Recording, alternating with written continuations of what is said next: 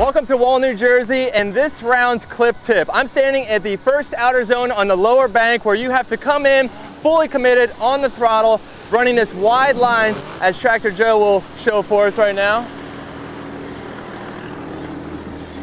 Little inside, you want to actually be on this white line, almost touching the yellow line with your rear bumper. And this part is so crucial because it's the first diving part of the track where you see the cars coming in, going door to door. It's perfect view for the judges, and this is what pretty much solidifies who will win the round.